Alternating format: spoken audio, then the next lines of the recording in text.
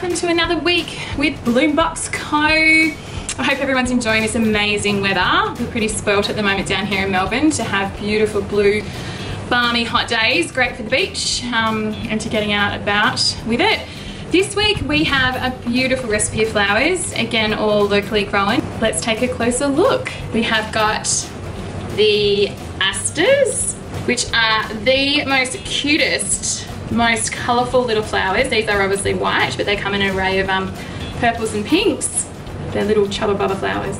We've got a fantastic favourite of everybody's. We've got the um, Lisianthus, which each flower just gives off such elegant qualities. For something a little bit zingy and zany this week, we've got the sedum, which is really low maintenance. It's part of the succulent family. All of these little top bits will flower. This is green on green. You can get different colours in the sedum in like burgundies and pinks and those sort of muted soft tones. But the sedum this week is going to add a real pop of sophistication and make everything come together. The two foliage elements that we're playing with this week, one of them is classified as a, a feature foliage and that's the fantastic Dusty Miller. It's got beautiful velvet qualities on its leaves like you want to feel and it's just soft and luxurious uh, with its petals and the other foliage we've got which is no need for an umbrella fern this week with the weather but maybe for some sun protection, is the umbrella fern, which is fantastic for adding a little bit of architecture to your arrangement, uh, really simply with one or two pieces. So yeah, let's get arranging. Now we need to do some basic conditioning to rehydrate the flowers and make sure that they're going to get their best longevity.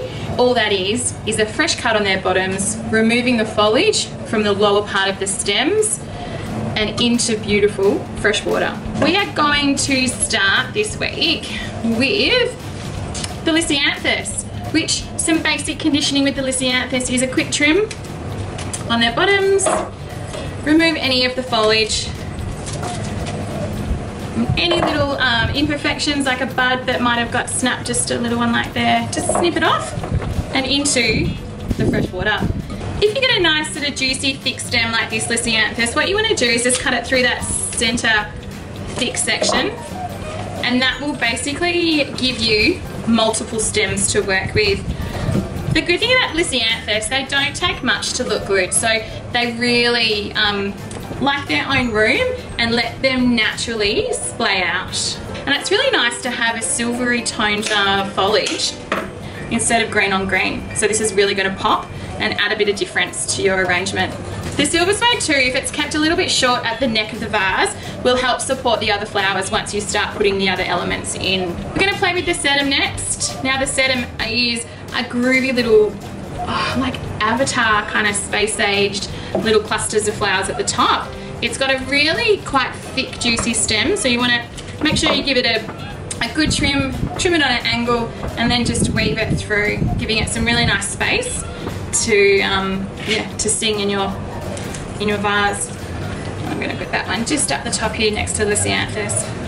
It's looking great. One of my favourites at the moment. The asters have got a main stem, but what you will find is there's actually multiple stems on that one branch. So if you actually remove, say the bottom couple, it gives you a few more extra stems to play with. So I'm going to leave that one quite solid, give it a trim, and then nestle it through just there, a little bit taller than the uh, sedum. And then with these little bud bits, just strip them down again, and again, weave them amongst the other blooms. Side there. And last but not least, we've got the umbrella fern, which is going to add that really nice architectural element to your arrangement. And you just want to trim it so that and position it so it sits just on the neck of the vase on either side and it adds that really professional feeling to your arrangement. So there you have it. There's this week's Glow with the Flow. Have fun.